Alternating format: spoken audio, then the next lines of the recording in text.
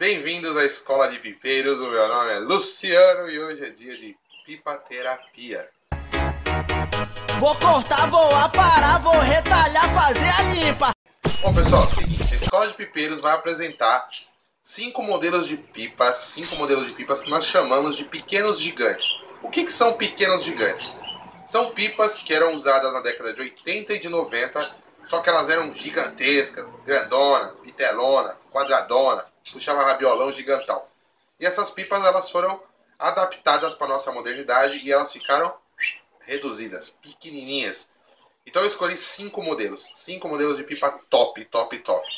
Pipa, uma folha clássica da década de 80 ou de 90, mais um vídeo extra que vai ser ela no alto, a gente falando dela, mostrando ela no alto, as desbicadas e tudo mais, certo? Então a primeira de todas vai ser o Paulistinha. Paulistinha, né, reduzindo, aumentando no caso seria, o pai dele é o Paulistão. É uma pipa legal, puxa bastante rabiola, o Paulistão, e aí eles adaptaram e deixaram ela com 50 centímetros, que se transformou no Paulistinha. E a folha que vai junto é uma cruz com contorno. Exatamente, uma cruz com contorno. Sair um pouco fora da tradicional cruz, para entrar com a cruz com contorno, folha simples de fazer, bonita, top, vocês vão gostar pra caramba. Então eu peço para você, deixe seu like, inscreva-se no canal Escola de Pipeiros, compartilha com seus amigos.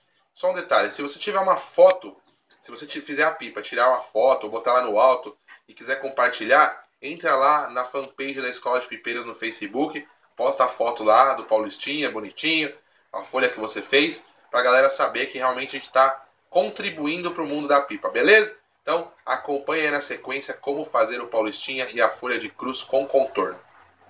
Então, meus queridos, ó, aqui está a armação dessa pipa, que é o paulistinha, certo? Tem 50 centímetros. Então eu vou ensinar vocês aqui fazer uma cruz contornada, tá? Uma armação bonita pra caramba, igual do paulistão, só que reduzida. Então o que a gente vai fazer aqui? Ó? Eu vou ensinar para vocês exatamente como eu fazia antigamente. Então a primeira coisa que vocês vão fazer, vocês vão pegar mais ou menos aqui uns 12 centímetros e vocês vão fazer uma dobra aqui assim de leves. Não precisa vincar a folha, é só para você marcar. Você passa a mão de leve, tá? E aí você vira ela para cá, nivela aqui as pontas e faz a mesma coisa aqui no meio. E aí você vai ter o quê? Você vai ter a marcação aqui, ó, de uma cruz aqui no meio. Então o que a gente vai fazer? Primeiro a gente vai desenhar essa cruz aqui para ficar mais fácil para vocês entenderem. Quem já tiver habilidade nem precisa desenhar, já pode fazer direto, certo? Então aqui, ó, da parte que a gente marcou aqui para fora, você vai medir a grossura da sua régua para um lado, aí você vai colocar aqui no meio de novo, ó, e vai fazer a medida da régua para o outro lado. E você vai fazer a mesma coisa aqui, ó, para baixo. Coloca bem aqui no meio, ó. E para cima também. Aí o que, que nós temos aqui, ó? Nós temos aqui a cruz, certo? Então, ó, começando pela parte de cima, você vai posicionar aqui a sua régua. Você vai, colocar, vai cortar aqui, ó, essa partezinha só daqui de cima.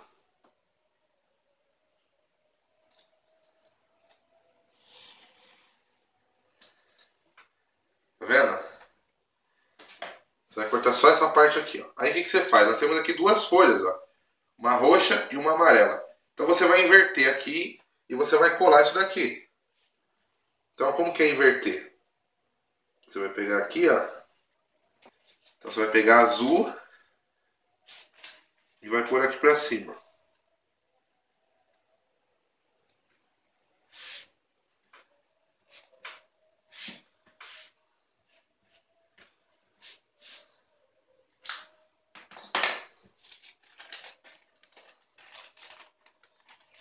E aí você vai passar a cola aqui e vai passar na amarela, na, na parte azul, para a gente colar a folha amarela.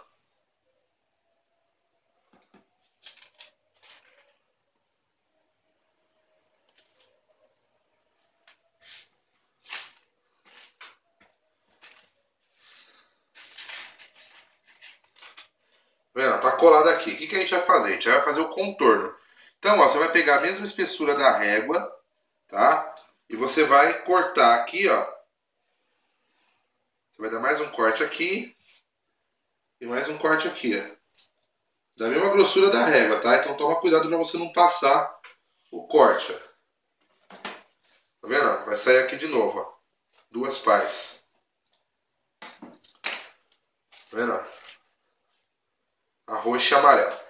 Aí o que, que você faz? Quando você for colar essa segunda parte, para as colagens saírem todas para o mesmo lado, você segura as duas folhas aqui ó, e vira ao contrário. Tá? Você vira ao contrário a folha e você vai passar a cola aqui. Ó. Então aqui vai o roxo, ó. E aqui vai o amarelo.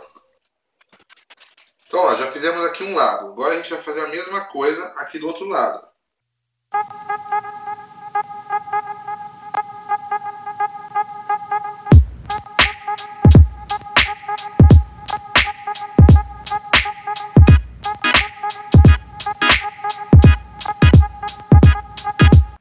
Se você quiser usar um prendedorzinho para prender a folha, se você não tiver habilidade para fazer sem prender, então eu sugiro para você que você prenda a sua folha. Para ela não ficar andando, tá? Pode ser com clipes. Só para a folha não andar. Aí você fez isso, a gente vai vir aqui para a parte de baixo, ó. Aí a gente vai fazer a mesma coisa. Eu já vou dar os dois cortes de uma vez, tá?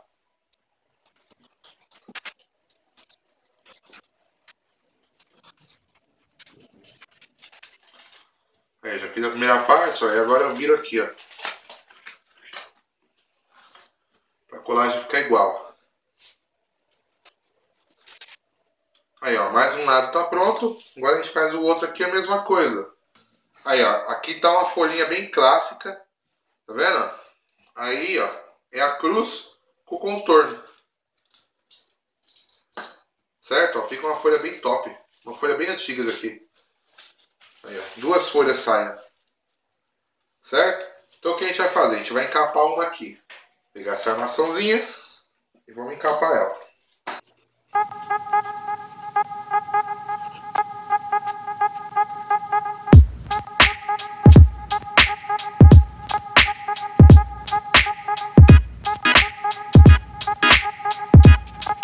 Então, rapaziada, ó, tá pronto aqui, ó.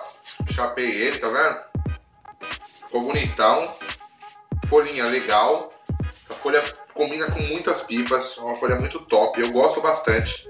Cruz nunca sai de, de moda, tá? Então essa aqui é uma cruz com contorno. Ela fica bem bonita. Fácil de fazer. Vocês viram aí? É simplesão de fazer.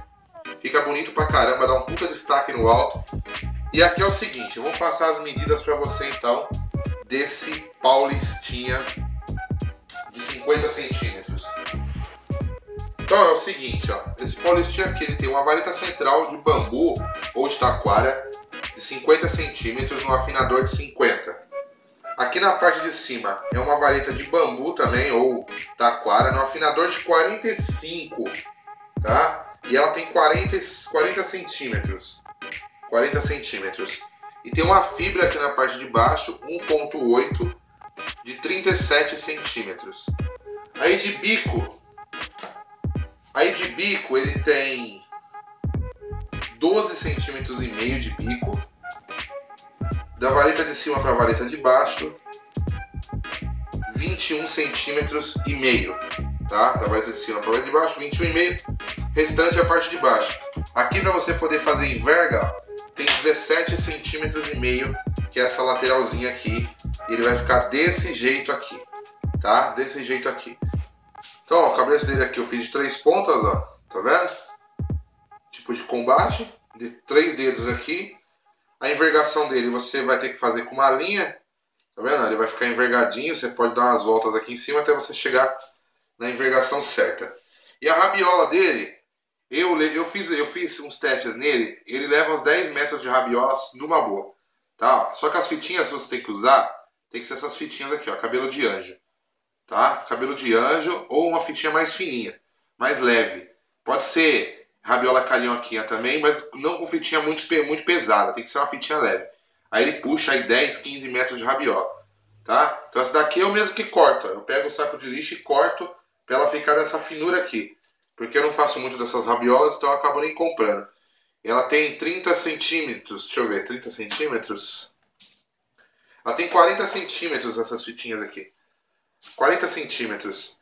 Então você vai fazer. Mas na hora que eu for botar ela no alto, eu mostro para vocês como tá a rabiola dela certinha. Então aqui, nessa parte da folha e da armação, eu agradeço vocês, a Escola de Pipeiros, agradeço por você ter dedicado seu tempo, ter assistido esse vídeo. Nos vemos nos próximos vídeos, deixe seu like, inscreva-se aqui no canal, é Pipa Terapia.